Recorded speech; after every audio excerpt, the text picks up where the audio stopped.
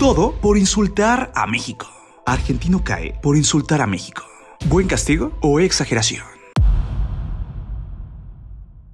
En las últimas horas, una polémica ha estallado. Y es que un argentino se ha visto envuelto en el ojo del huracán, todo porque se le acusa que insultó a México.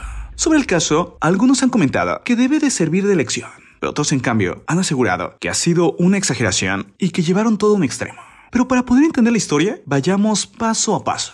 Comencemos diciendo que el público mexicano es muy importante a nivel mundial. Y eso sobre todo por dos razones. La primera, porque el público mexicano es muy entregado con los artistas. Cuando quiere uno, sin importar de dónde sea, lo adopta. Y en segundo lugar, se ha demostrado que si alguien pega en México, termina pegando en toda Latinoamérica, incluyendo Estados Unidos. Y esto incluso logra saltar el charco y llegar a Europa. Si alguien logra triunfar en México, lo más seguro es que su éxito llegará a todos los países de América. Es así que México es una muy importante plataforma.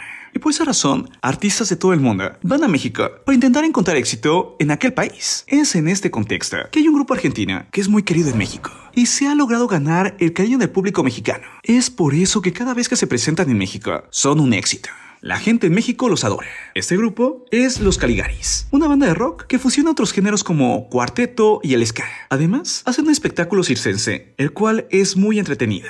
La banda es argentina, nació en Córdoba. Por otra parte, es una banda bastante amplia, ya que tiene muchos integrantes. Verla es todo un espectáculo y realmente es muy entregada con su público. No solo el mexicano, sino en cualquier lugar que se presente. Hasta ahí todo bien. Pero ¿dónde está la polémica? Bueno, que uno de los integrantes de la banda, Federico Zapata, se metió en una pelea en redes sociales por el tema de la Copa del Mundo y la victoria de Argentina. Es así que dijo algo que para muchos fue un fuerte insulto para México. Federico Zapata era trombonista de la popular agrupación. Bueno, todo comenzó cuando el comentarista Paco Villa, de TUDN, uno de los medios de comunicación deportivos más importantes de México, hizo un comentario fuerte hacia el portero de Argentina, Emiliano Dibu Martínez, a quien acusó de ser un fanfarrón y el competidor más despreciable del orbe. Y es que Emiliano Dibu Martínez hizo un gran campeonato. Incluso fue uno de los más importantes para que Argentina ganara la Copa. Hasta ahí todo bien. Pero desde que ganó el Mundial, ha hecho cosas que para muchos no son aplaudibles e incluso son criticables. Para prueba de ello, la seña que hizo cuando le entregaron el premio por su actuación como portero. Y no solo eso. Se le ha pasado humillando a sus rivales, sobre todo Mbappé. Es por eso que muchos se le han ido encima, diciendo que se comporte y que se porte a la altura. Y es que hay que ser grande en la cancha, pero también grande fuera de la cancha.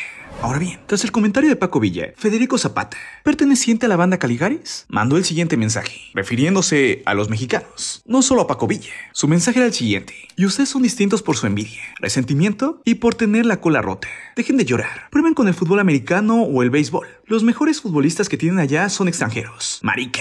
El mensaje de Federico Zavala acusaba a los mexicanos de envidiosos, resentidos y los ofendía diciendo que tenían la cola rota. Además que eran no llorones, que no eran buenos en el fútbol y que mejor probaran con otro deporte y que los únicos futbolistas buenos que jugaban en la liga mexicana eran extranjeros. Y terminaba rematando insultando a Paco Villa diciéndole marica. Una palabra que en Argentina es común decirle, pero que en México, para algunos, puede ser considerada una ofensa grave. Tras esto, explotó la polémica.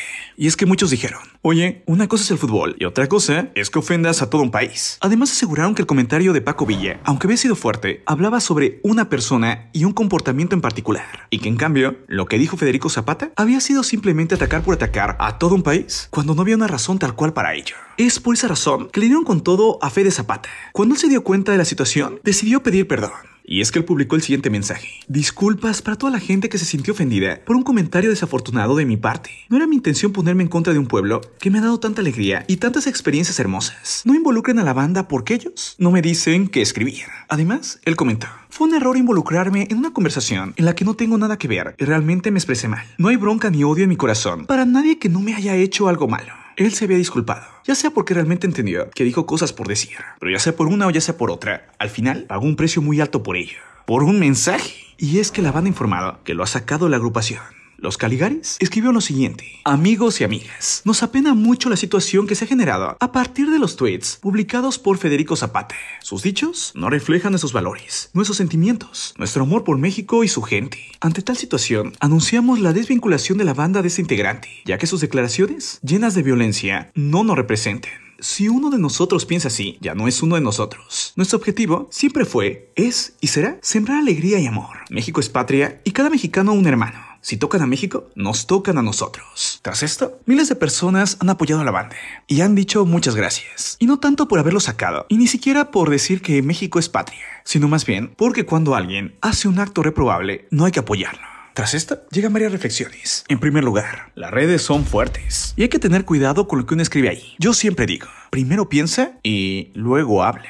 Y es que a veces te puede ganar el sentimiento y decir algo que después te puedes arrepentir. Y que realmente ni siquiera lo sentías, solo era por el calor del momento. Y te lo digo por experiencia. A veces he dicho cosas que después digo, es que ni siquiera lo sentía y debí de haberme callado la boca. Y por otra parte, las palabras son muy importantes y puedes impactar con palabras. Para prueba, discursos importantes de la historia. Otro punto importante, tristemente, según expertos, hay muchas personas que no saben manejar sus emociones y a veces hacen cosas terribles y perturbadoras. Por ejemplo, cuando pierde un equipo de fútbol, se ha comprobado, en todos los países, los hombres provocan violencia sobre todo con sus familias. Esto para los expertos significa que las personas, pero sobre todo los hombres, no saben manejar su frustración y sus emociones y terminan haciendo cosas bastante fuertes. Esto cuando están muy emocionados, pero sobre todo cuando están muy frustrados. Ahora yo te pregunto, ¿crees que el castigo de Fede Zapata era lo que debía de ser o más bien fue una exageración? Lo que es una realidad es que no debes engancharte, y te lo digo yo que estoy metido en las redes sociales. No sirve de nada ponerse a pelear con alguien. Ahora dime, ¿tú qué opinas?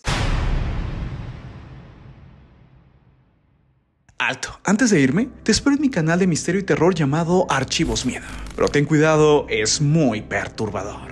No es apto para personas sensibles. Aún así, velo si te atreves. Archivos Miedo. Yo soy Marco Antonio C, desde México. Y esto es tu Cosmópolis. Nos vemos pronto. Un abrazo fuerte. Bye.